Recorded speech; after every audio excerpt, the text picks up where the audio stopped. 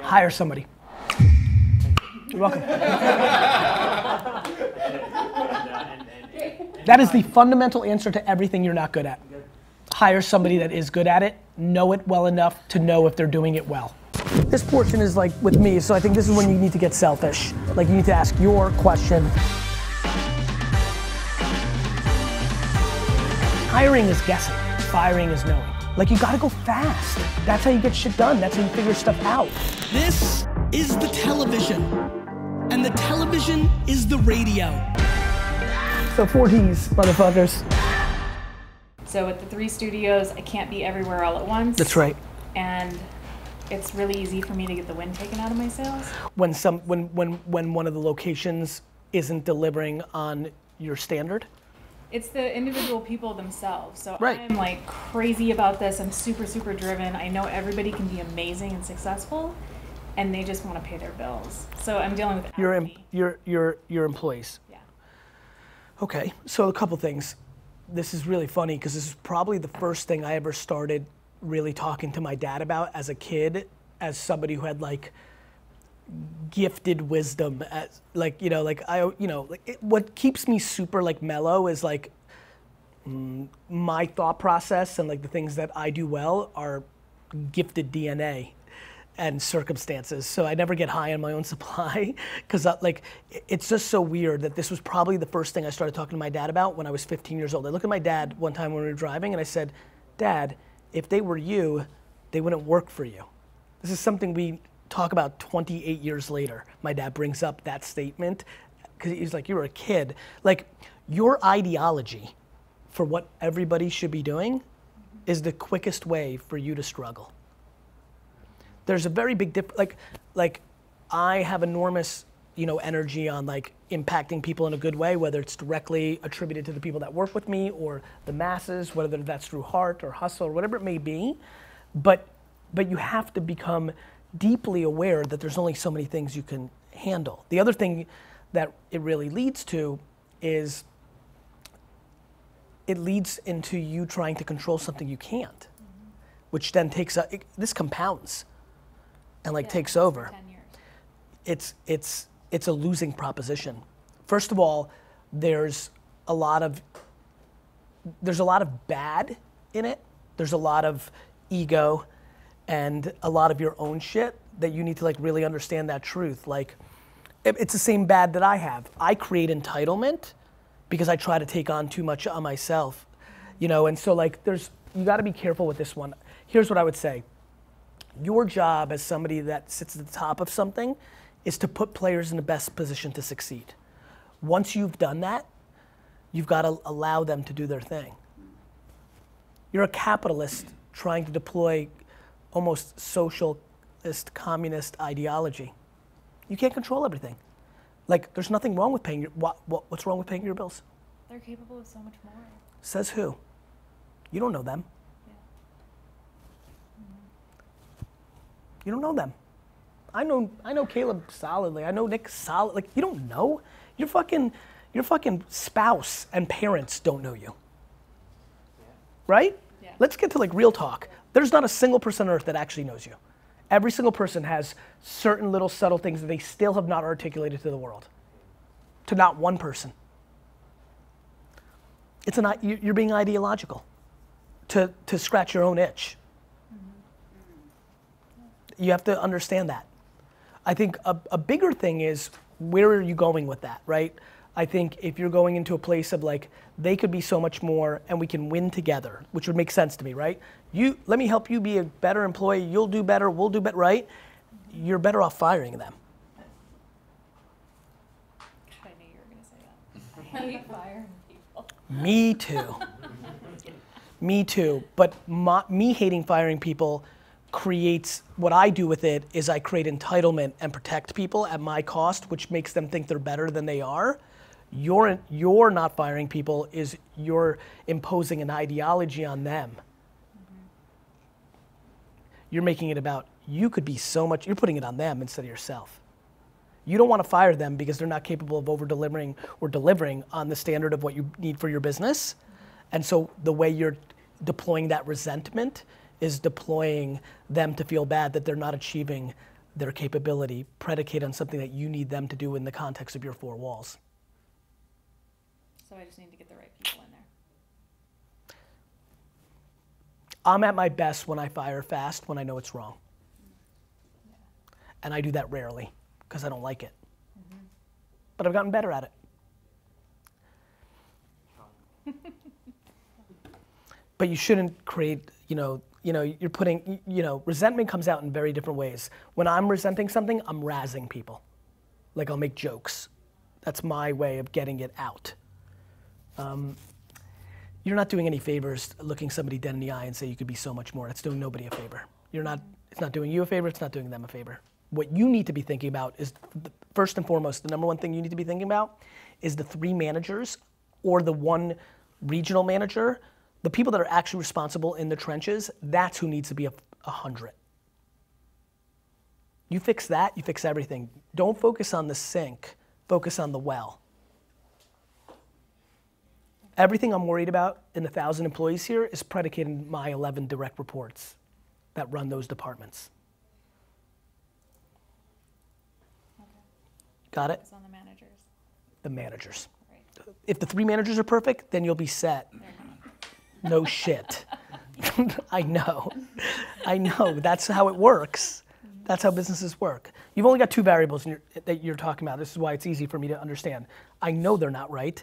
And then underneath that, the employees you have, either they're underperforming because the manager blows and you know it, or they've just been around for a while and you have actual human emotion to them. And those are both valid. But the quickest thing that will make you so much happier is to make sure the three managers are phenomenal. You have three, I would assume, per Yeah. location? They basically deal with all the happy stuff, and if anything goes wrong, I'm the one that has to come in to deal with that. You've created that, just like I created here. Yeah. You need to uncreate that.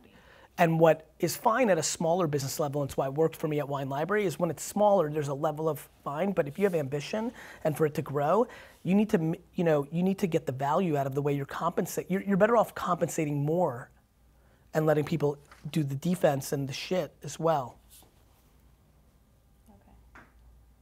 Got it. Got it? Uh, I have two questions. Um, the first one with combat being combat bet being kind of my main main business. Yes. About forty five percent of my business. Um, but I was not in the military. I was not in law enforcement. So it's a, a target market that I appreciate very much, but I'm not really a part of. I, I think that as long as you're authentic, you know, there is a small subset. In any subculture, there's always a part of, of that group that will always be like, well, you're not one of us, so you have no permission here. But if you speak to admiring something, um, as long as you're clear cut about that and not hiding and trying to avoid, I think, um, I think you'd be surprised on how much of a non issue that is for the 89%. Okay. Because I'm one of my Because the 11% yeah. was a military, you know, Yeah. retired military, and they have their stuff made in China, but they don't tell anybody that. They're like, oh, we're military owned and operated, and so they get a lot of business. I feel like they get a lot of business because of that. That And and that's and the consumer's always right. Like you can't focus on that. You, you have two moves. You're more than welcome to make a video and be like, look, I have deep admiration for our law enforcement and our military, and here's why. And I'm extremely proud that we make our product in America. And we have competitors in the marketplace who've been in this space, but they make their product in China, and you, the customer, should decide. would you say that even though that Yes. they, even though they I- claim, I- they claim to make I, I would, because that's how I roll. You don't need to. But I'm not a big fan of dwelling without action. Either you never dwell about it again, mm. or you mention it. okay, But the middle blows. That's what you're doing. like, like that's the game.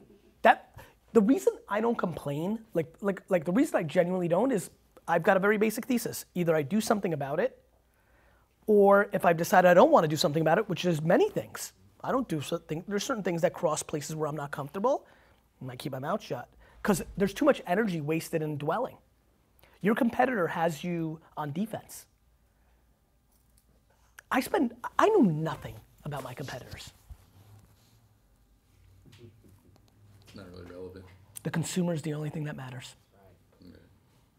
I just don't care.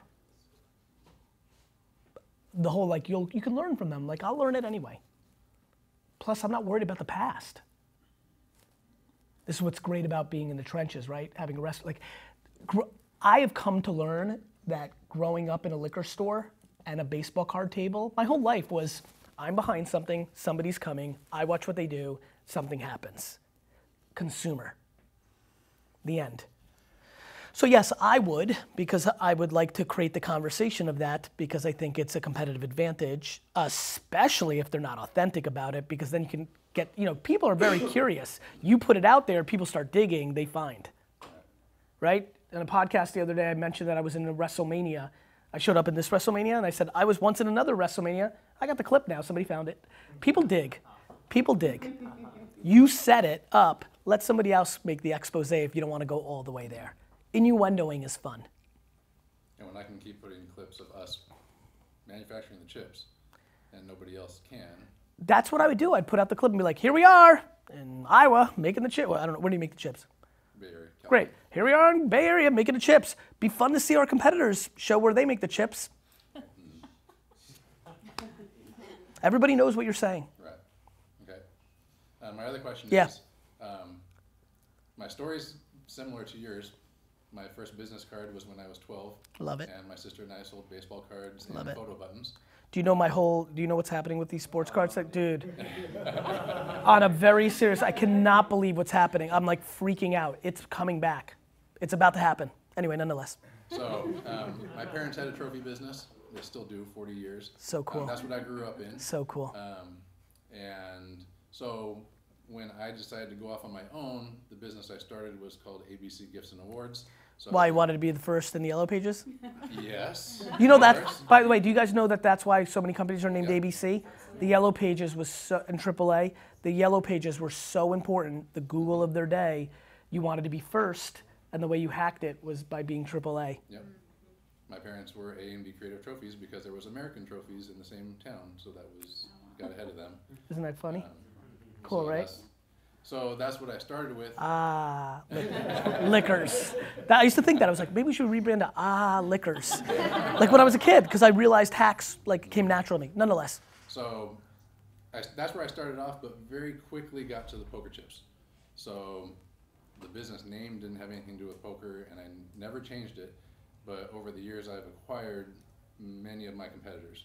So now I'm Nevada Jacks Poker Supply, I'm BR Pro Poker, I'm Palm Gaming, but they're still all separate. okay. So I don't know if I should, being that it's still 55% of the business is poker, would you say I should combine all and start maybe ABC Poker or something? Why? That's the most Because important. it's so fragmented. For who? For you on the back end, for the consumer. I think for the consumers. For us, it's not a problem. We, So for the consumers, what do you think happens? um, they get confused, I believe, Why? because we've got different products on different sites. So we don't have all the same. Do they know that they're even associated? Some people do, some people don't. The question is, Doesn't matter. it doesn't matter. And then what are you trying to accomplish? You know, like, you know, to me, the reason to consolidate is you've got a big commitment to building a brand, and that when you flip it, there's gonna be a delta on the brand value. Right? So when you sell a business or when you value a business, there's the EBITDA of like, here's the profit. And then there's a thing above it, which is what's the brand worth? Right? the reason to consolidate is to build a brand. I would not call it ABC. I would create a brand, right? That would be the biggest reason to consolidate, in my opinion, based on what you're saying. I don't have any intention of selling. Then, then there's no crazy reason other than maybe you just want to manage one site. Maybe you're curious on what it's going to mean. Maybe there are some curiosities of like, but like, you know, if you think about it, I assume these are web-based driven businesses, right? Yes, all of them. You're going to give up, Right. That's why I've No shit. done that because. and you're not giving me a compelling reason to. If you're going to give up all that SEO juice, all that brand equity, all the people that, and I'm going to guess 80% don't give a fuck or know that you have seven other sites, and now you're going to consolidate them all, and they're going to, you know, like type in what, you know, palm, whatever, and it redirects to this. I know what, but then it's like, ah, that's not my, dude. Let me tell you a great story about Wine Library. We built a new store on the same fucking plot of land, and everybody decided it was a different store and that we were more expensive, and we dropped prices. People don't like change. The second you redirect, they're gonna be like, this is somebody bigger bought my people, and now it's more expensive. Or not as good, you know? Right. I just don't see the value unless you've got a strategy for it. You know what I mean? Yeah, Does it make sense? yes, it does. Thank you. You're welcome. Uh, so I really debated asking a question about our company as a whole or versus like my role. And Okay. I, sorry guys, I'm going with my role. Yeah, really, be, as- yeah, this is like, listen, we're here, right? Like, Yeah. let's, let's do it. One of the things I mentioned is we're trying to change from the traditional advertising strategy to a new way of doing business. All the way. You're trying to change other people's opinions of it. Thank you. Yes. This is a very important starting point. Absolutely, and you're absolutely right. Um, change their opinions about it. It's not an easy thing to do, especially in a small market like Alaska. Um, And it's not easy anywhere.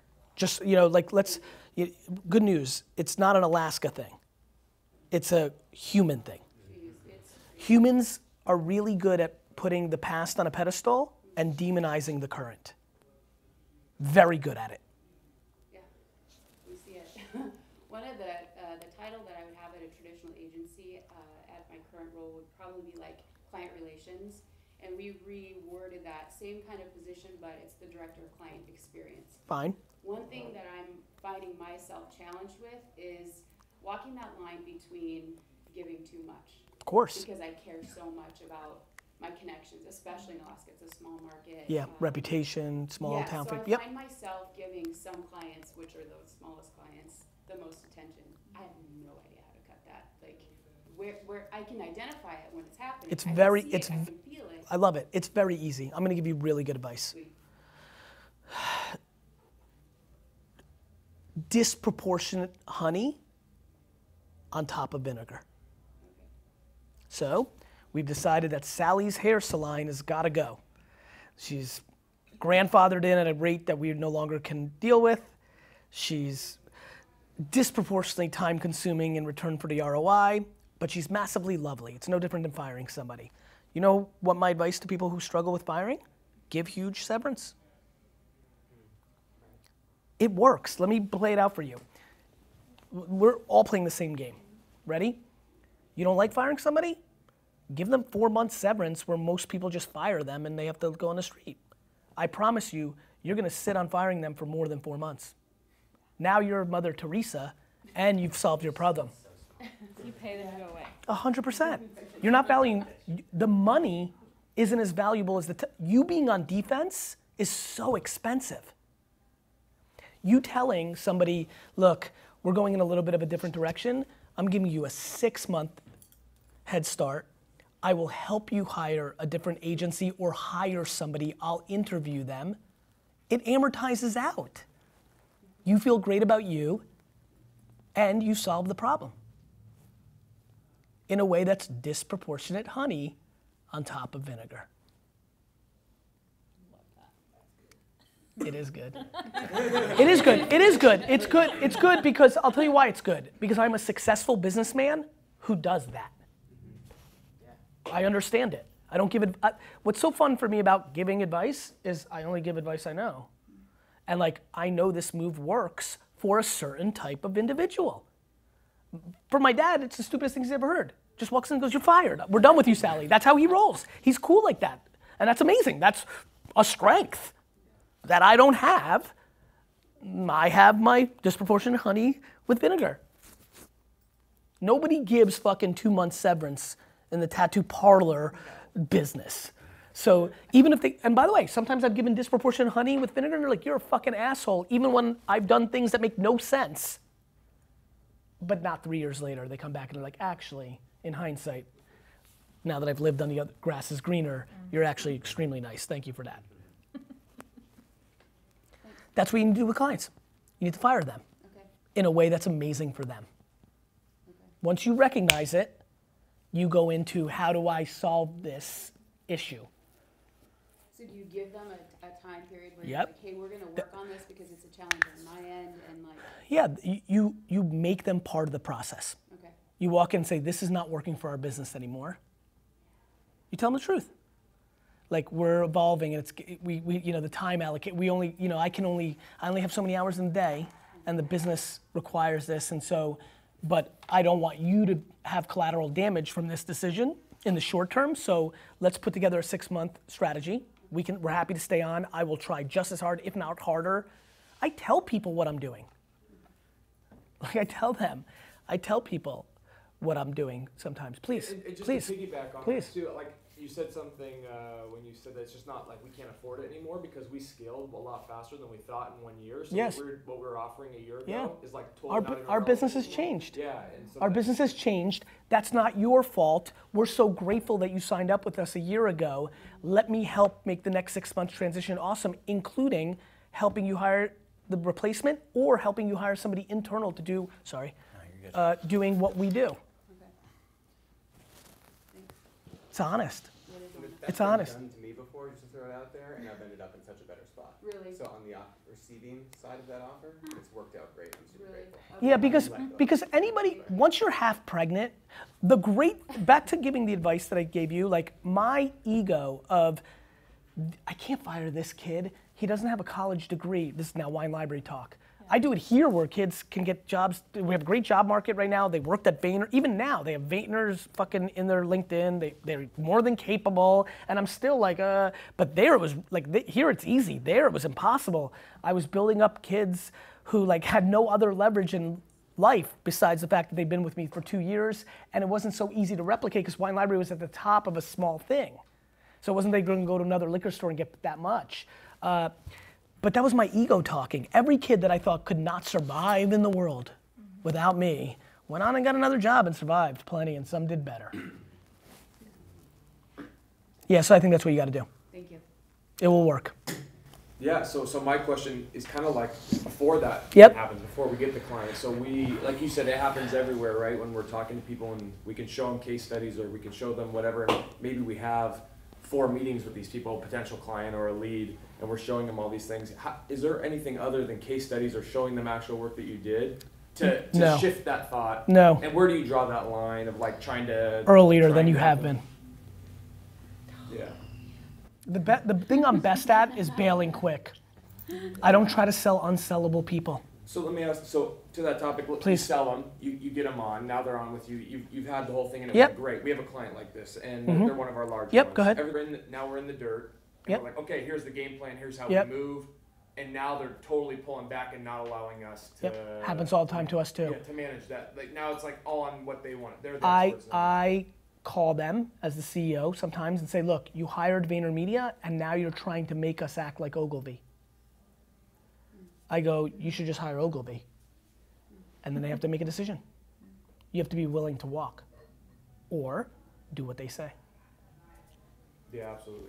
It's something we struggle with all the time. All the time. And by the way, we're happy, like, I can't get to everybody in this company the size that we're in. We're doing what they say in place, plenty of places. There's not a single client at VaynerMedia that does exactly what I want them to do. Right. Not one. Not one. Find balance. Yeah, I, I, I'm just not ideological. I have points of view. I'm very comfortable articulating them, but I don't have full say. They're paying me.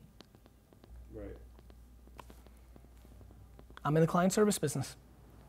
So we just have to figure out where our, Where the line is where the line is. Yeah, I mean, that's right. I think you're. I think the one thing that will make a lot of sense to you. I'm very comfortable doing what a client's forcing me to do since they're. pa- My dad. I'm bringing up my dad a lot, which is fun. My dad has a had a like a great like. There's this great great Russian saying that he would always like bring up because it was his leverage. But like I heard my uncles say it, and but like it's a classic Russian saying. You know, like whatever American sayings we have.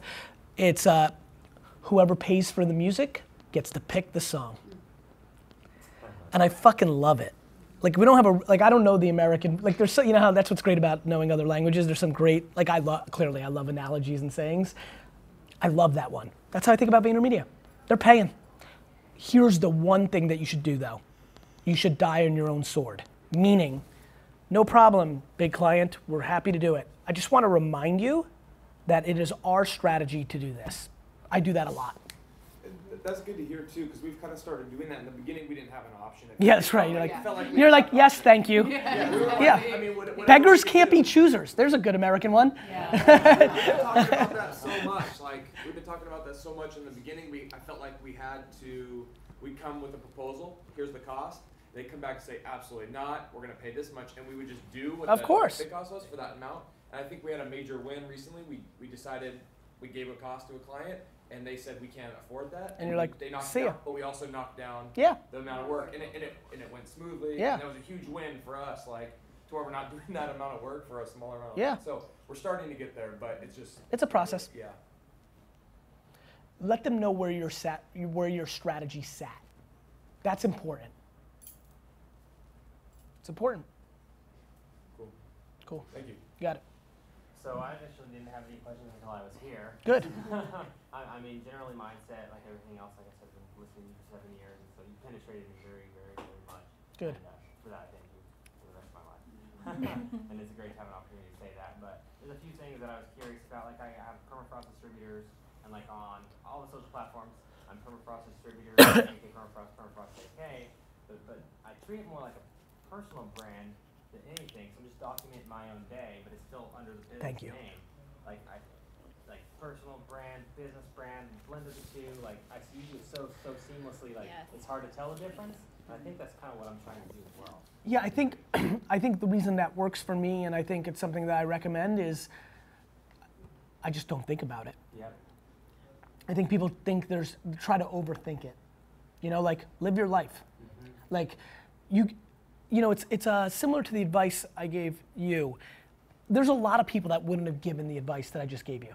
The business book ideology is consolidated. There's a lot of people that are giving you advice about your personal brand and your businesses that went to business school and are executives in companies and they give advice. The reason I love this session, this part, is I get to give you contextual advice after you've been watching higher level theoretical advice for a while. I listen, right? And then I answer. Right. So like, you know, people are like, Gary, this is the favorite of every smart person I know. Gary, what happens to Vayner if you get hit by a bus? And I go, it goes out of business. And they're flabbergasted. They're like, what's your contingency plan? I'm like, life insurance. They're like, what do you mean? I'm like, when I die, if I died by a car accident right now, it's really awesome that I bought so much life insurance based on my potential earnings that my family will at least achieve some percentage of that ROI, which I'm not even that pumped about because I'm on the new kick of not giving my kids anything, let alone like I'm on a whole different. I used to make fun of Warren Buffett and Bill Gates for giving away, uh, like, because I come from immigrant. It's like you give your family, like, right? I was like, fuck those motherfuckers. Now I'm like, they're brilliant. Your kids are losers, like on day one if you give them too much. Anyway, nonetheless, I say to them, it goes out of business, and they're flabbergasted. I'm like, bro, let me, and then I go into like, and usually these are non entrepreneurs giving advice. I go, let me tell you something about Nike and Amazon and Puma and Chase Bank. It is far more likely that the CEO of Coca Cola turns every six, seven years than me getting hit by a bus. And the second it does, that company changes forever. Like, I don't care what happens to VaynerMedia when I'm dead. I'm pissed that I'm died. like, you know what I mean? Like, like, like people are so confused. So anyway, back to this answer. Blend them. Yep. Play. What? When a company comes to try to buy it, they're gonna want you there for three years anyway and lock you in to be the executive that hands it off anyway. And so whatever personal brand equity you have, you're gonna be able to trade on. At best, guess what? When you leave after three years, you'll still have your personal brand and start your next shit. I moved very seamlessly from wine to marketing, and I'll move very se- seamlessly from marketing to sports card dealer. you know. Um, and there's one other weakness that I'm really, really hard on is just picking up the phone and saying, "Buy my weed." Like I'm, I like have a hard time being super salesy. Hire somebody. Okay. You're welcome. and, uh, and, and, That is the fundamental answer to everything you're not good at. Hire somebody that is good at it, know it well enough to know if they're doing it well. Got it? Yes, sir. Know it well enough to to know that they're doing it well. Correct. Just enough. Sales is easy. I'm there. I've hired you. I have a set expectation of what I pay you and what I kind of have a feel for my business. That's easy. Somebody to do your social media marketing when you have no idea about social media is hard. You don't even know what they're doing. Mm-hmm. Got it? Know it well. And I'm what makes me super interesting, I think, is I'm dangerous enough in everything that my company does. Uh, but I don't need to be the best at it. I'm just the best at the holistic version of it. I don't think anybody in my company can beat me one on one, but a lot of people can have better skills within the subcultures of the craft. Cool. Thanks, Gary. And then if I brought a That whole like, what's that, brother? I brought a couple items later on if you Thank you. whipping out and signing. Happy to do it. that'd mean the world. Happy to do it, brother. That whole like, I don't even really know what a Renaissance man is, but I think when people throw it at me on social, they talk about like, you do a lot of things, and I'm like, seems seems practical. you know, like seems practical when you own- own a business for you to be dangerous enough to know everything so that you don't become vulnerable. People sometimes say to me, I don't deal with my finances. I'm like, you're in trouble. Yeah. You have a business. I don't like finances at all. I fucking the, this is literally I just sign everything everything my lawyers and my team puts in front. I don't have, but like you have to know it enough. You have to at least understand basic like, do I make more money than I lose? Every time like, I have a great CFO, Alan, and he loves to, like I'm so offense. He's like so much more disciplined. He razzes, and sometimes he likes to allude to like he's the grown up, and I laugh, and I'm like, bro, I've been in business for 20 years of my life. I've made every payroll in my life. It's street shit, family business. I may not like. I do not know the tax law the way you do that can maximize some of our opportunities, and I'm pumped, and that's why I pay you a fuckload of money. Um, but I make my payroll. You know, you just got to be basic. Shit's basic. Business is basic. The reason I'm so cynical to the current state of entrepreneurship is we have students in business now. Business is basic. Uh, we're, we're having a great year. It's going really well. Good. We're about to be growing, doubling in size, which is going from two restaurants to four. So we're super excited. And do your partners have ambitions for it to be a national product? So we have uh, successfully failed uh, over the years. We grew to five locations out of state. We had three in Kansas City and two in Cincinnati. Franchise model or your own? No, we owned and operated. Keep going. Me and my kind of culinary partner Jordan, so it's two of us. Love it. Um, so we were out there a lot, going back and forth. Anyways, couldn't get it off the ground. Shut them down. Focused on Denver. Since then, Denver's just been like awesome. Mm-hmm. So super stoked. Cliche, you were stretched too thin. When you focused, it worked. Hundred percent. Yeah. When grew when we shouldn't have, then stretched too thin. It was a silly, I think, idea to start with, and then we just kind of reshuffled, and now it's actually clicking and working. Yeah, when things fail, it's very obvious to look backwards and be like, Yeah. right. Why did we do that? Um, and one of my tactics with kind of that retrench is really to kind of pull things in. Where like I'm even designing our website now, I'm Mailchimp myself, and really kind of bringing all this in. I'm a big fan of pulling in and pulling back out.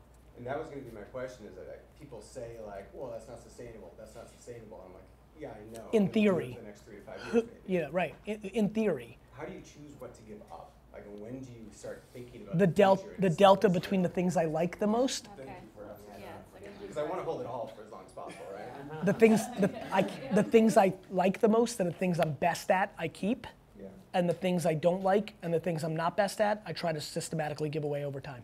Okay. Cool. Just look at what you're. Self-awareness and happiness is the answer to your question. Okay. There's just certain like, what are we doing here? Like, you have a business like to do what you like. Like, fuck it. If you can't, like, you know how many people build a business that then the business eats them and it becomes a job? And like the thing you like didn't want to do like everybody else, or the thing you ran away from becomes the thing with the added pressure and loneliness of entrepreneurship. So, the things I like and the things I'm best at, Okay. you know. But there is i love treading everything back in.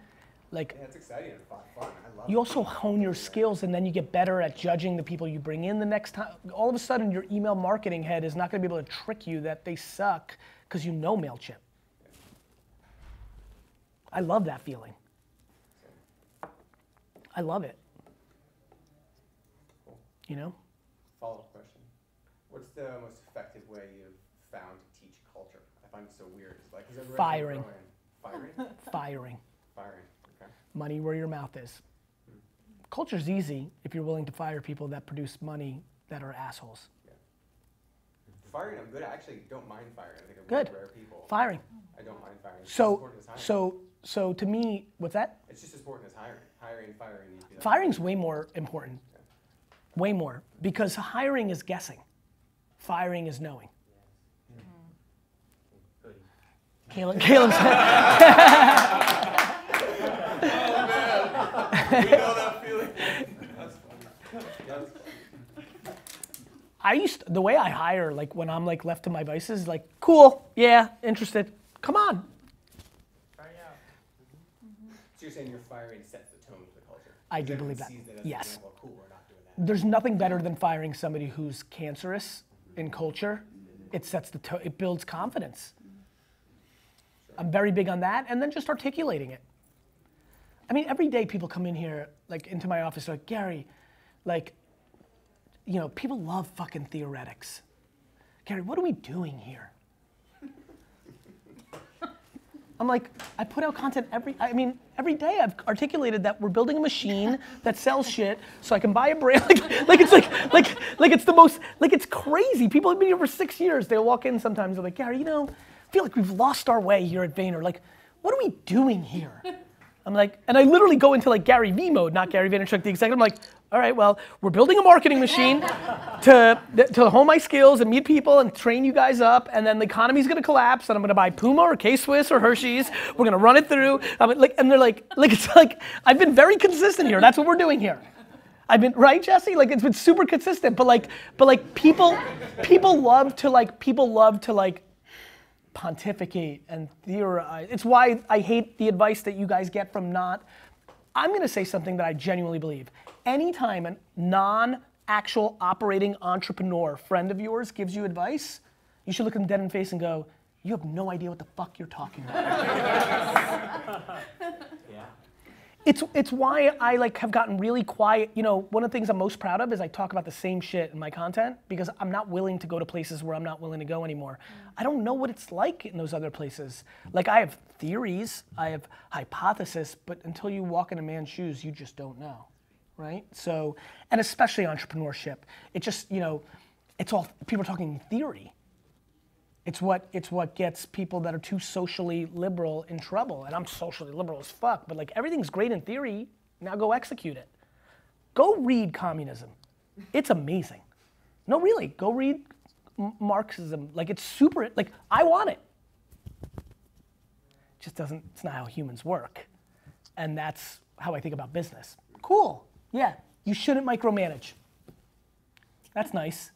You're going to a job tomorrow that's going to pay you. I have to go in here and be like the last line of defense of my business. And right now, nobody's doing email marketing, and I haven't hired anybody to do it, so I'm going to do it. Like, you know what I mean? We're in limbo at a chief strategy. Our chief strategy officer left like last week on family reasons, so we're interviewing, so she's not here. I, when we did Sasha, assume the COO roles from James Dorsey. So I'm the CEO, COO, CSO, I guess for all intents and purposes, though I'm not. You know, like ebbs and flows. I'm gonna hire somebody, and I'm not gonna, like, you know, like ebbs and flows. By the way, there's another one. Talk to people. Once you have a feel of what every person wants, and once you create a place that's safe for them to tell you the truth, you got a prayer, and take it from somebody who's really trying, it's super hard.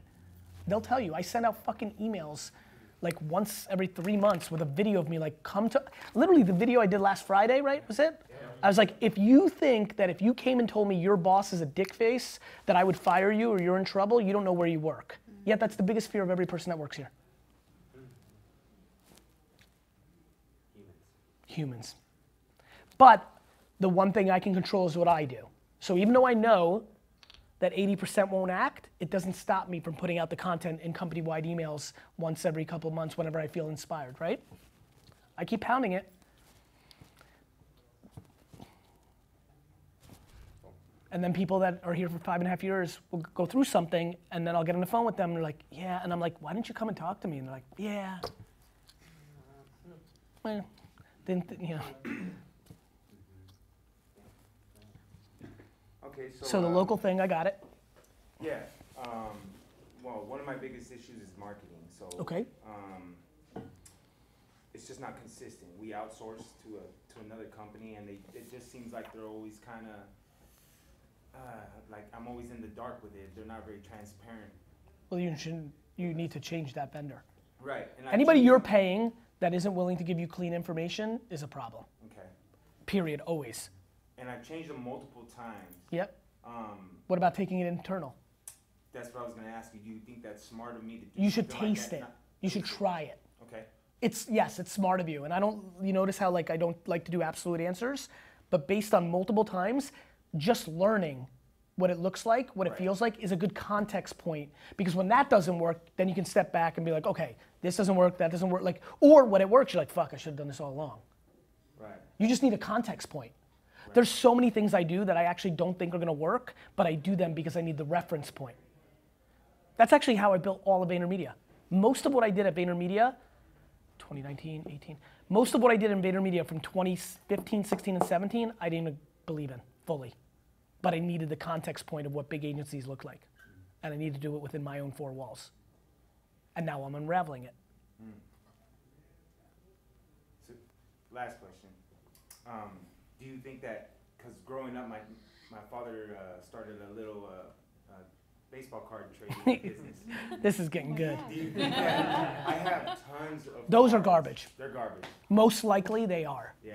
Because that's what it was like supply and demand school issues. Do you think? The the fucking 1980 baseball. Let's start with baseball.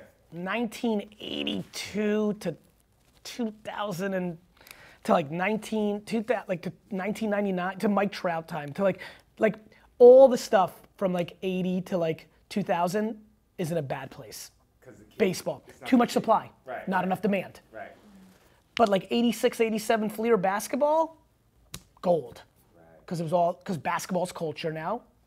Like, nobody wants a Tony Gwynn rookie card. Right. Nobody wants Wade Boggs. Nobody wants that. People want Jordan. Culture. Culture. Culture. Basketball won, baseball's declining. Then, that was too much supply. It's just supply and demand.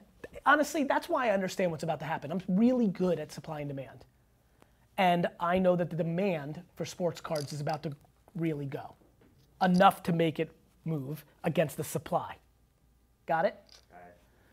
Right. I think basketball's incre- I think basketball is going to be incredible. I think China's going to get involved, and when that happens, just think about Asia's money for Jordan rookies, LeBron rookies, Kobe rookies, Steph rookies.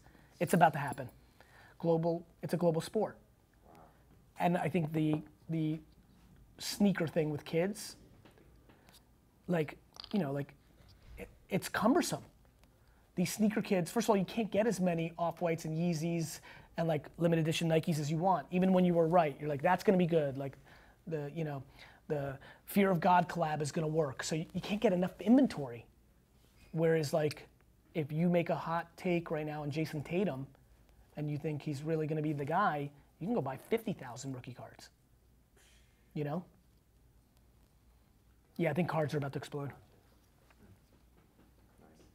I think so. I'm really, I'm like, I can't believe it's happening actually. I heard you say that. The fa- like my life is getting so weird. I started a wine brand. I'm getting to car. I'm going backwards.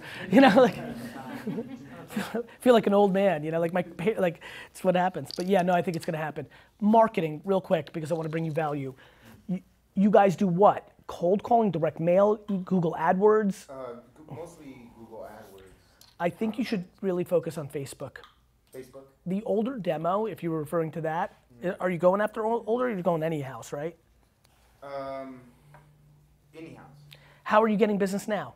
Um, How- how we're you getting business now? It's like um, Word of mouth. Sources Home Advisor. Yep. It- So we You're you're doing you're in the referral business. Yeah. This is what I hate about services for real life. They all let all these companies that got in front in between Google and them, Home Advisor, Zillow, Open Table in the restaurant world. What's that? And it's, like- it's all the same shit. You need to. That's what happened. Like just to give you a quick punchline of what happened in the world. Google. I was right about Google AdWords. I did a nice job and built my dad's liquor store. There were much smarter people than me that built platforms that sat in between Google and the business underneath them. And that's who built huge, huge companies, right? You got to get out of that. Get out of that. You can't be reliant on somebody who's a toll booth. Right. What if they said the price is double? You're gonna pay. You have no leverage.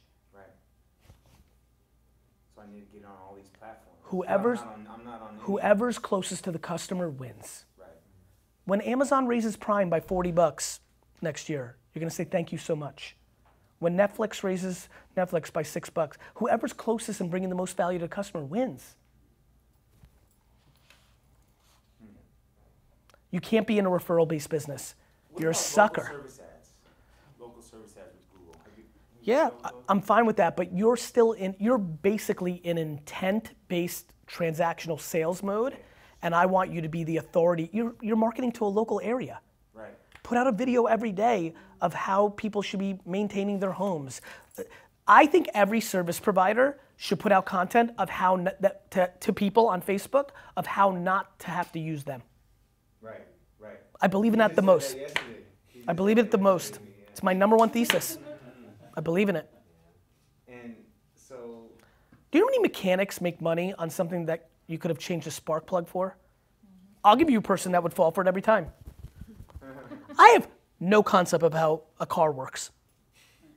I'm completely baffled by the modern automobile. Just don't know. Give a fuck. I take no pro- like I love when people like my buddies are like, "You're not a man." I'm like, "Fuck you." I'm like, "How much money do you have?" you know, like like you know, what's the definition of a man? You know, like cool. I don't know how to change my car. I'm like, I have enough money to have multiple people change it. I'll buy a new fucking car. like, it doesn't work. I'll buy a new one. Like you know, like you know, whatever. Like everybody has their own skill, but like I think you want to build trust. Hey. I, I talked to a roofer friend. I'm like, hey, you need to put out content every day of the stuff people should be doing to maintain their roof, so they don't have to pay you thirty thousand or eight thousand, you know. And they've been doing it. It's working. and, and what platform would best? Facebook. Facebook.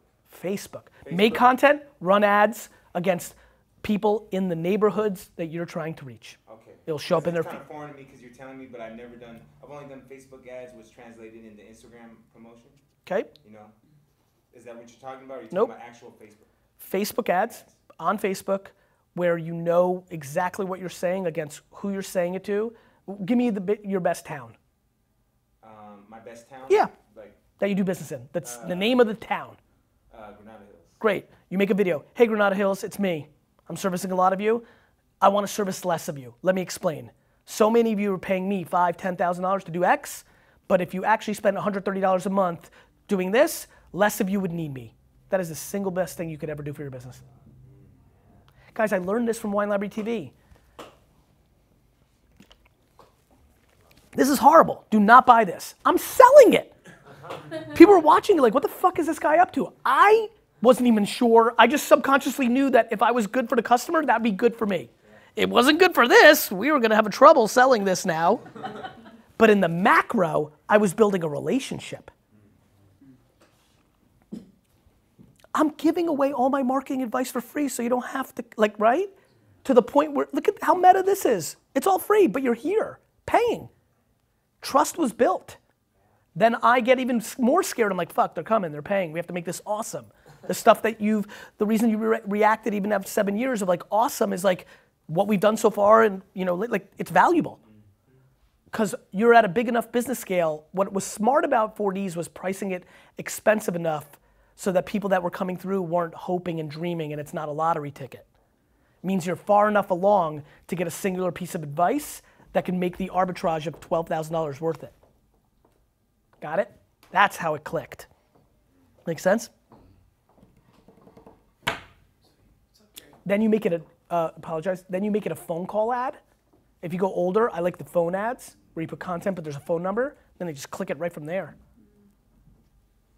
That's on Facebook, you're saying. So right on the Facebook ad, there's a little call call to action button or something like that. That's right.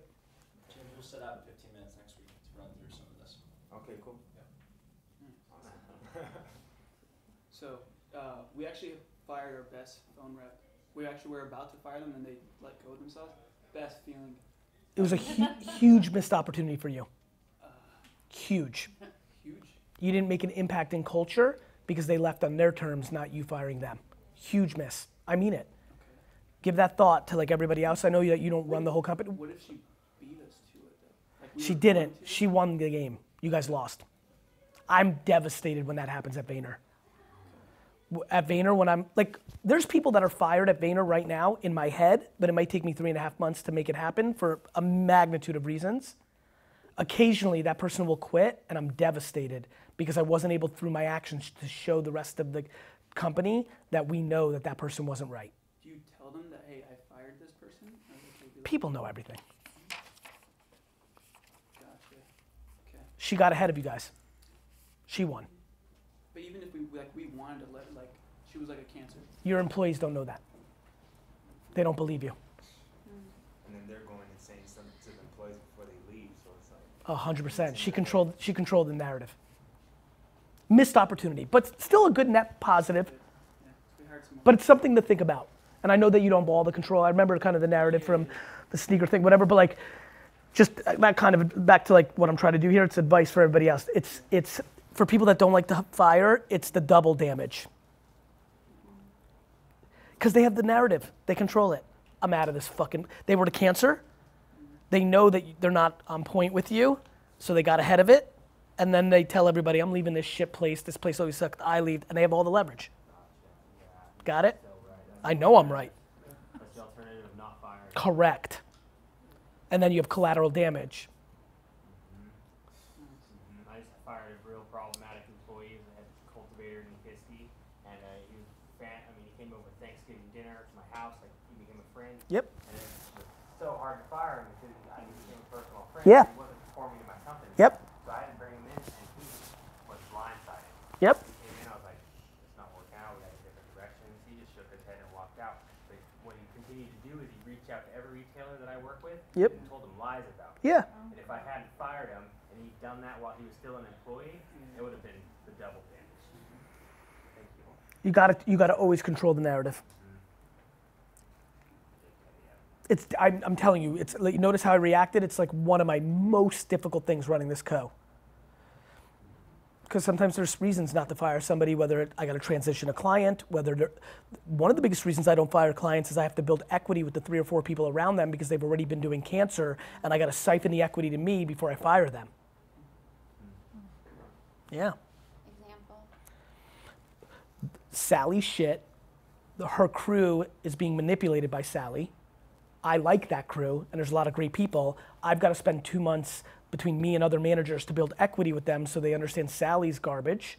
And then you get rid of Sally, because if you get rid of Sally before then, they leave too. Like, it's the most funny thing ever. It's like parents. Remember all the shit you thought your parents didn't know, but then you got older, and they're like, I fucking knew you were jumping out the window and hooking up with Rick. And you're like, fuck, mom, how'd you know? Because you know. I love when my employees think I don't know. I fucking know everything. Yeah. And, and, and I know. No, but right, right, Nick? Like, like, like that was like an evolution, right? It's interesting, right? Clicked for me a long time ago. Yeah, you're super on it, but like, anyway, that's not your question. Go ahead. No worries. So uh, I'm just I'm, I'm looking for some perspective and strategy in auto. So Agent 2021, uh, I had a good time. Good things and bad things I liked about it. But Yes. It got me thinking of more ideas. Good. And I wanted to know like, so I was like, man, I can build the machine here really well as a company. But then look, we got we started interviewing videographers, um, uh, content creators, and I wanted to know like when it comes to the best strategy, I don't know the best way to figure out where auto's going. I know there's a few companies like Carvana, they're like get rid of dealership shift is like new way to buy inside a car. So I was like, we'll just be the car buyer. We'll just strictly buy and we, we wholesale all of our cars. We'll sell them in franchise dealerships. But is that just for like should I be thinking more of how can I help everyone in all dealerships, or hey, is this where it's is this kind of where we should be going down the Tier three auto dealerships mm-hmm. are going to be around for minimally another decade because you haven't seen enough transition happen yet. Let's start with that. transition in like Meaning, like, you're not seeing car dealerships close all the time. You're not seeing Ford announce that they're not going to do tier three anymore. There hasn't been anything that's happened. And even when Ford says we're going to not do dealerships anymore, it's going to take them five years because there's deals in place. So I think a lot of times people see the future but don't realize how long it takes. I made that mistake. In 1998, I decided when I came back, we launched in 96. I start running the company in 98 store, and I decide by the year 2000, that was 18 months. This is what's so funny about being a kid. You think 18 months is like a million years. You know, I'm like, by the year 2000, I'll never forget this. I couldn't have been more wrong. By the year 2000, everybody will come into my wine store and scan every barcode because I made up that phones would have scanners on them by then. Uh-huh. And, and they'll know the price of every wine, and I'm gonna have to lower the price and be the lowest price on everything because I I still to this day don't know when you sell when you sell a service you can talk about it from a service standpoint. I still don't know how to explain to somebody if I sell a bottle of wine why somebody else selling it cheaper why they should buy it from me. I do not understand. And I never did, and that's why Wine Library had the best prices on every fucking wine in America when I ran the store, because I don't understand what the answer to that question is. Uh, and so I lowered the prices of every single product, crushed our margin, but it never happened. We still don't have it, and and that's how I that's how I've gotten good. If you notice, uh, I know a lot of you guys follow. I'm so much more right than everybody else about VR 24 months ago when everybody was talking about it. Right? Everybody said right. Everybody was all freak getting fired up, and I was like, it's not even close. And here we are, 24 months later, and still nothing has happened. Not even the beginnings of something. Same thing that's happening with machine learning and AI right now. Everyone's talking about it every day, and I'm like, that's cool. And there's a lot more going on there, but the things that people say it's going to do are 13 years from now. So, yes, do I think cars are going direct to consumer? Yes, I do. Do I think it's going to take a decade to three? I do. The end. And I think youngsters who are progressive could get caught on the timing of innovation. Got it? I think that you are, because you haven't lived through a couple cycles, are going to see things that are right. Because you're digitally native, you're younger, you're coming from a different perspective. It's to take longer than you think for it to materialize. I believe that online dating was to be mainstream in 1998. It really probably, I mean, Match.com at some level, but like Tinder in 2012, or I'm trying to think now, like it took a long time, but I knew it would happen, but nobody believed me when it happened. It's like sports cards right now. It's already happened. I know it's to happen. Most people are like looking at me like, oh, you just because you liked it when you were like, they don't see it yet. Last last question. So I have so with that I have all these ideas, but I think that as a company, we need more money to do it. I think we need more capital. So Fine. what do you? I guess what do you do with that? Like where do you go? Do you have control? So they are open. What we we talked about. There's four of us, and we talked about, hey, should we fix everything first and then ask for money, or just ask for money and then go from there? Well, first, can you make money instead of asking for it, or no? Make money. Yeah. We're, we're so we're profitable. Can you make more? We can, but so sometimes it gets very tight when it comes to. I got so it. Like, if the car doesn't sell at I got it. It'll get really, Yeah. really tight. yep. Um, and sometimes if you want to go more, it'll get. If look, I think raising capital on your terms and your advantage is a good idea. I don't think that's how it ends up most times. Whoever's asking for the money has less leverage. right. So I'm a big fan of like creating something that has people asking to give you money. Whoever asks first blinked. That's how I think about that. Thank you. So many questions. Let's go. Um, all right, so in my building my personal brand, I already speak, um, but I want to do more speaking. However, I'm a mom of three, and they're they're it. Of course. everything. Yeah, of course. So Have you I- go- have you gotten remarkable at eliminating other things besides those two things? Yep. Okay. yeah, I'm good. I'm good there. Good. I feel like. Okay. Um, how do I train from the beginning? Because I feel like this is a beginning for me. Um, anyone who reaches out to me about a speaking engagement, that I can bring just as much value from my cute pink velvet couch in my office, ring light, whatever. No. That's what you want. It's not what they want. Okay. I mean, there's nothing I can do to make that Nope. possible. I do not believe so.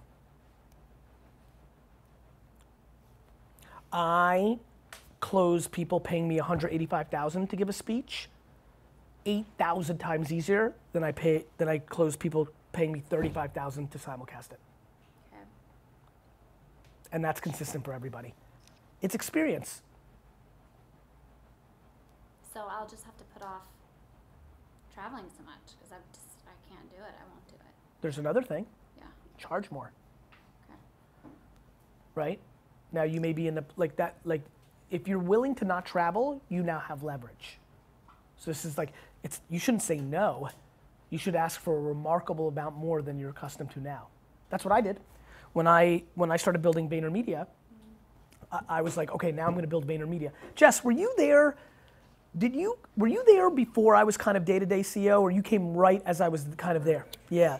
So like, th- what's really interesting is you know you might have saw like VaynerMedia, I guess because we formed the LLC on April 15th, even though AJ wasn't out of school yet, turned 10. But for me, it's always eight because I really didn't operate this business the first two years because I was busy with Wine Library. I was really still really running that, and then I'd written Crush It, and the whole Gary Vee thing was starting. Um, and so when I decided in September 2011 to run VaynerMedia for real, to actually be the CEO, I didn't want to speak as much because I wanted to build a business. So I moved my fee from 5,000 to 15,000. And what ended up happening was it was awesome because, okay, a bunch of people said, go fuck yourself. You think you're a big shot, right? And that was fine. But some people said yes. And I was like, really? Okay, amazing. and so, like, I don't know what you're charging now, but if you're willing not to travel because you got to be home more and whatever, you're going to find a new remarkable thing, which is you might be able to get more. Okay. Okay. That was like one of the great, I'll never forget that year where, like, the year prior, I spoke like 11 or 15 or 22 times. And the next year, I spoke like seven, but made the same money. It was a really powerful moment. Now, I had momentum. I was like, you know, it's, it's a marketplace, Right. you know? But yes, I mean, as fact, anytime somebody says I'm looking to become a speaker, I'm always like, speak as much as you can for as free as much as you can. I mean, look, you've got your life. Yeah. And like, I think it's really hard. I have a lot of, it's really hard for everybody, but double, I have double empathy for, you know, a mom because I think there's just inherent, like, you birthed this human kind of thing. I think there's, and there's social and the way, you know, social pressures and how you grew up and ideologies of your grandmother's grandmother that trickle down. Um, it's hard to balance to begin with. But Yeah. But but I can it's do it. better than having terminal cancer. Right. Right. You know, it's, that's, but it, it definitely feels like that. You know, it's easy for you, like, it's fun to pontificate. You're really thrilled right now that you do not have terminal cancer. And like, that's where I always go. Like, like, you know, like, like, hey, it sucks that maybe you, like, that you can't go 150% on the business because you have, you know, parenting obligations and wants and needs and ambitions. You could have been bo- born in Cambodia, like, and not had the same opportunities you had being a white woman in America. Like, I'm always playing the, this pisses me off, but I can spend the rest of my life talking about all the things that are worse. And I, I do believe in that perspective. I don't, because you'll get crippled otherwise. Yeah.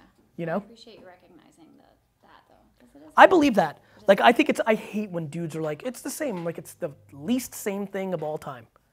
It is. Yeah.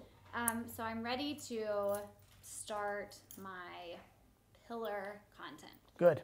and the trickle down, which I'm really Podcast? excited about. Vog, what are you thinking? I'm not sure. So I- I'm good. So camera is where I Shine? been my whole life. Yeah. So it's, it's Good. what I do, and I feel like I can deliver my message um, just differently than a lot of people. So I want to start with video. I, I'm a big fan of videoing a podcast. Me too. Okay, good, good. This is what this is what I was thinking the other day. That's great. I'm a big fan of it. Okay. You get both. Yeah. Film the podcast. And you, we've all seen it, right? Like Imus, Sports Radio does it, Mike and Mike. Like you see it on cable TV. It's a radio show being filmed, which means it's a TV show. It, it's exactly the same for us. I think my strength though comes from the training aspect, the just kind of what you do. So it's sound bites. It is. So you should, you should do a Q&A show. Okay. Watch what I do, not what I say. When I came back, and seven years, what are we in, 19? Yeah, so you know this. Like, my career has a really funny moment in it, which is when I went double down on Vayner. Like 2000, September 2011 to like 13, 14, I was pretty quiet for me on the internet. There's very little, like, there's only the, if you look at it, there's only like the keynotes, there's like a couple things. Like, I was very quiet. And then when I came back, I was more self-aware, and what did I start? The Ask Gary Vee show. I mean, I, I sometimes when I talk to Caleb or anybody on my team, like, you know, I'm the breakout personality in the business space in this last couple years, while actively being a CEO and CEO of a ma- massive company. And when I talk to them, like, could you imagine if I was just Gary Vee? Like every morning, I would do a fucking morning show from like 8 a.m. to 11 a.m. just Q and A, and would like take. You think I'm penetrating all the channels now? It'd be over. I would do it every day. It's my favorite thing to do. Tea with Gary Vee. You know, like nice glass of tea. Just put them on. Call me. Boom, boom, boom, boom, boom, boom. Clip, clip, clip. Distribute, distribute. Every day. Look how pumped we get when we do. One of the reasons I did 4Ds was for the fucking. What did I just say? The firing is the, like I don't know. Like it's fucking good. I can't. I can't wait for that piece of content. Oh, the deep out knowing or guessing. No, like that fucking thing's gonna kill on LinkedIn. That's two million in the bank. But I need to be asked. It's hard to like self-start. Like it's not. I apologize. I'm really great at self-starting. That's why I was good. It's just I only am gonna say the same things that I believe in. The only time I do new shit is when I'm asked. That's why I started. And if you know that about yourself, make it a Q&A show. Okay. Right? Yeah, which is so much fun. So fun, especially when you stay in your. The biggest thing I'll tell you is just stay in your lane. I think a lot of people when they start Q&A have a sense of like I'm an expert and I should have an answer for this. Like it happened uh, yesterday. I don't know, right? What was that? I was pumped. I don't know. Nonetheless, I was super pumped to tell them I'm like I don't know. Like I love that. I attended a Q&A with my photography Yep. before this, and uh, no questions. I didn't have enough engagement yet, so there's a certain time that you want to start and launch a Q&A, I'll give you a good one though. If like nobody knows, for people out there who want to start a Q&A show that nobody knows in the world, let's say you want to, go to Twitter, search terms, find questions that people are actually asking the ethos and answer them. By the way, by the way, that is the actual origin story of Gary Vee. Nobody in the world knew who I was when I started Wine Library TV. I went on Twitter, searched wine terms, and answered questions. Because I knew what I was talking about about wine, nobody knew that I knew. So you could literally, if you like, you should go watch an old Ask Gary Vee. I clip the, make the image from the question on Twitter, but you could do that with somebody not asking you the question. Right. John in Albuquerque asked, not me, but the world. So I'll answer it. What should I do when my, you know? What else? How much time do I have? Uh, officially ten. 10 more minutes? We do five and then picture. Okay. Anything else? This is nothing just my brand. Can Good. anyway? Of course. Okay, so I just read Titan. No, you were in a you were asked in a book. Ti- mentors. Oh, uh, Tribe of mentors. Tribe. Tool- No, tribe of, men- of mentors. Ferriss or Gonan? Ferriss. I think it was Titans, right? No, no, no, no. Oh, there's two? Two different ones. Okay. Well, in Timmy's this- a fucking beast. He just writes. you- let me tell you what you said. You said you had someone that travels with you that does personal training Yes. and then body work. Yes. Oh, soft tissue work. Okay. I'm, do, I'm okay. doing it right now. Okay, I don't know if you noticed what I'm doing. I'm literally. whole fascia this- thing. I'm literally doing it right now. So I want to know because I just entered this. I'm literally world. doing it right now. Tell me what it does, because this is this has been brought to my attention. Okay. I feel like I need it. So I don't. I don't really know. but here's what I know. If you continuously rub with a ball, with your fist, with a fork on this, like there is a soft tissue, there's a fascia that is built up. I have it so bad right here. So I hurt my back when I was a kid in the liquor store. And so what ended up happening was subconsciously, and I can see it in old videos, I would do this. And what happened was that became my actual posture.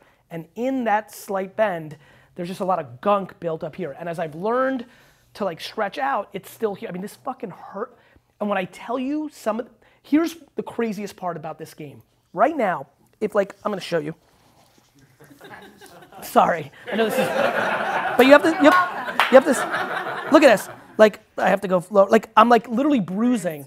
Like, it's, what you don't know, what you don't know is how crazy this is. Here's why.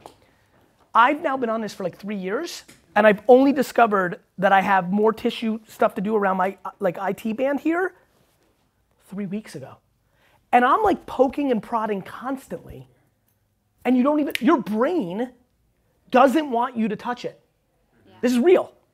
Your brain is keeping you away from it. It's this crazy game. Like I feel like I could, like Jordan. I wish Jordan was here. You're almost playing against yourself. You don't even realize it's happening. But like there's literally places in your body right now where you have like fascia and like soft tissue issues that you have no idea that's happening, and the second you hit it, it like blows your mind.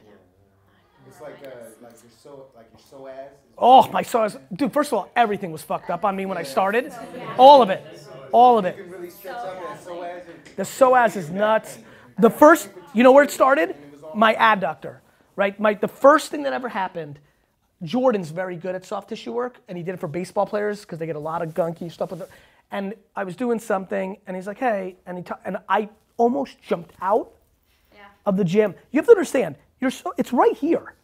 It's right here, right? It's like in place. It's not like some weird, right? It's right here. I have no idea what he's talking about. He goes, huh. I go, phew. Like it was so fucked up, so tight. Anyway, you know, like there's a stick that he has that's the best, the blue ball, like all this shit. Like it's changed my life. Here's why. Actually, I'm gonna show you guys. I think I have a picture of it. This is so crazy to me. God, I really hope I have this. I gotta show you something that is almost uncomfortably ridiculous. Fuck. Um, I'm gonna show you a picture. Yep, here we go. Albums. God, I'm so hopeful that I have it. Okay, here we go. Is this this picture? Yes, I showed it to you. Put it on the screen. What? Jordan posted it a while ago. Really? You have it? I think I might have it. I mean, you really have everything. Guys, when I tell you that I'm so passionate about you guys doing this, it's it changed my life. Let me tell you how. I sleep better. When I travel, I feel better. I feel better just second to second. Way more than losing weight, way more than having muscles. It's changed the way I actually walk and maneuver around life. And like you don't even it's what I'm so in tune with myself and all this stuff, but I got to tell you, it's a it's I don't know how to explain it. It is shit, I don't have it. Um, you have you're finding it? I'll find it. I- I- text Jordan real quick. He'll text it to you. It's something I I just found the one oh dude. Dude, It's so crazy, guys. This hurts so like I'm barely touching in between two ribs right now.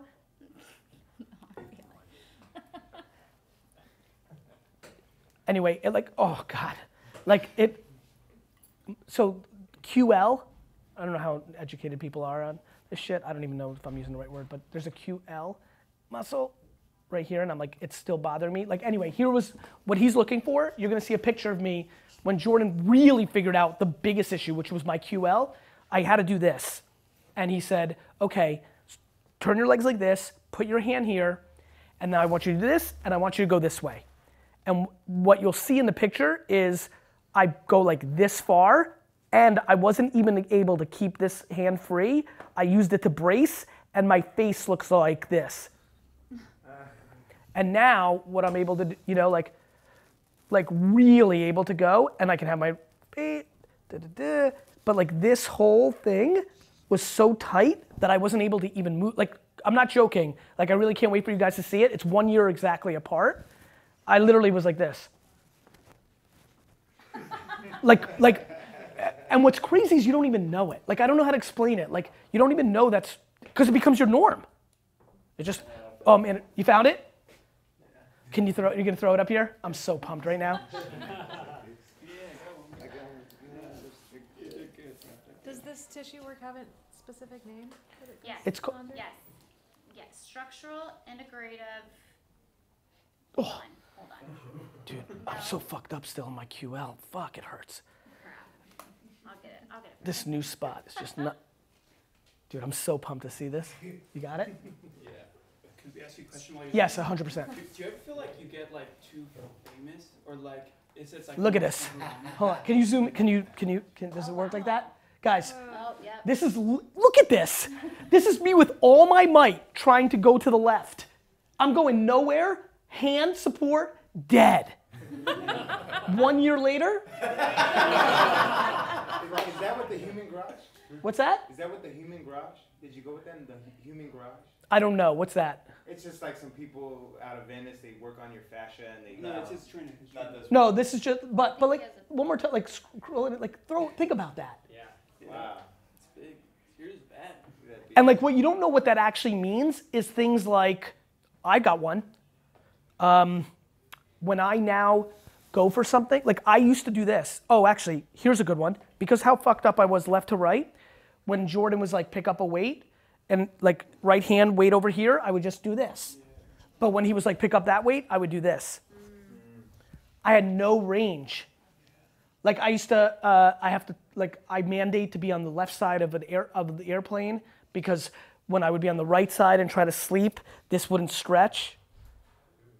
Like crazy shit that you would never think about. Like just, it's it changed my life. Another thing that's about to change my life is I. I'm gonna send you this. Dio, I want you to put this up. This is going to segue into my next thing. Uh, do I ever think I'm getting too famous? Yeah, like does it get too much to handle? Like people like stopping you and like. Yeah. And you're like, okay, I should stop this. Let's I won't. I can't stop it. Can't. I like it too much. Like like It's it's the good outweighs the bad. And not about and not about the selfishness of like I like being famous. It's that I feel too good when I'm changing somebody's life. I can't replicate the high of somebody emailing me and saying I was abused. Guys, you don't know what I get. Mm-hmm. Like, yeah. You have all of those? I have bought 43. So listen to my hot take on this. I believe that this is the number one underpriced card in the world. Now, you guys all know I hate Michael Jordan more than breathing. I've never worn a pair of Jordans. I hate them, but this is the number one underpriced product in the world right now. This is a Michael Jordan rookie sticker card, not the regular card. The regular card's 5,000 when it's graded a 9 like this. This is how they grade them. They put them in cases and then they give them a you can see the 9 there. 10 is the best, 9. This this card is selling for like a 1,000. I started buying them a couple months ago when they were 700, but I'm like driving up the price because it's just drying up. But I think this card should be worth just as much as the regular $6,000 one because there's just as many made of this as the regular one. And these are even harder to get good grades because the stickers were even more awkward. So I'm gonna buy them all that I can. There's still, I mean, I have 67 or 47. I'm gonna try to buy 500. There's probably hundreds of thousands. And then I'm gonna tell my whole community to go and buy them. And then I'm going to educate people on why, in supply and demand, normal non emotion, this should equally be worth $6,000. And I think it'll then go to $6,000. Can I buy one? Yep. You can go on eBay and you should. Honestly, this is, you know what? Back to like, you know, my, my whole game of like, people have no money and I'm trying to get them to get $1,000 by flipping $1 to this. This whole sports card thing, the reason I'm most passionate, the number one question I have that I do not know how to answer, which pisses me off, is hey, Gary, I have $18,000. How should I invest it? It's a tricky number. Like, you know, like what real estate do you buy? Like Facebook, Netflix stock, like, ugh, it's, you know, this. I really think that cards are going to go up so much and be so liquid that a lot of people, if they're really smart, and I'm going to tell them what to buy after I buy a little for myself, uh, are going to be able to turn 18s into hundreds. I think somebody can easily, easily. It's scary to me how realistic turning 18,000 to 100,000 in sports cards will be over the next 18 months. I really believe that. I have one of those Michael Jordan 24 karat gold Garbage. Garbage. No, no. li- listen, I have unlimited. Gar- I have, bro. I have so much garbage. Everything, everything you have, like, mo- everything's garbage in that. Like, they're garbage. But like, I heard you mention about the Akeem Olajuwon. I'm Is buying. that a longer term? That's a 30-year play. I'm buying up all Hakeem's because I think Africa culture is going to be like a major. I think China's going to be. China and Africa. Africa's the next continent to blow up, and I think African culture and like basketball's global.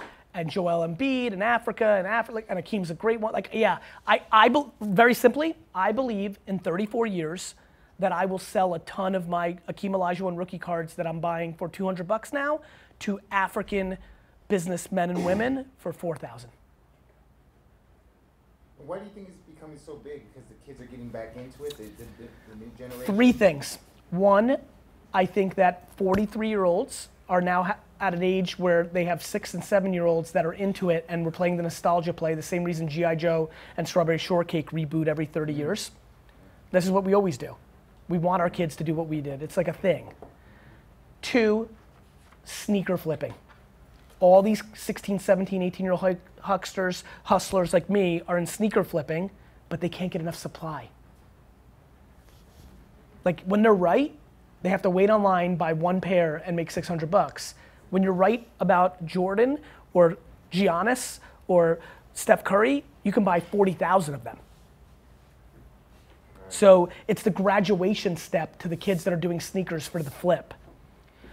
Three, gambling. There's going to be Zion cards. One of the things that's happening in sports cards now is you can get one of one, like it's the only card like that in the world, signature cards, pieces of the jersey, limited edition stuff. Supply and demand. There's only 25 of these Zions in the world. There's only 25. There was a billion Ken Griffey Jr. rookie cards. Got it? So soon, once people actually understand what's happening with sports cards, there's going to be a knowledge base, even like people in my office, just life, that you can go into a card store or Walmart, buy an $8 pack of Prizm basketball, and you could pull a $40,000 Zion rookie. And unlike a lottery ticket, you could pull out the regular Zion that's worth 25. So gambling. And because of daily fantasy and gambling, people watch more sports when they care.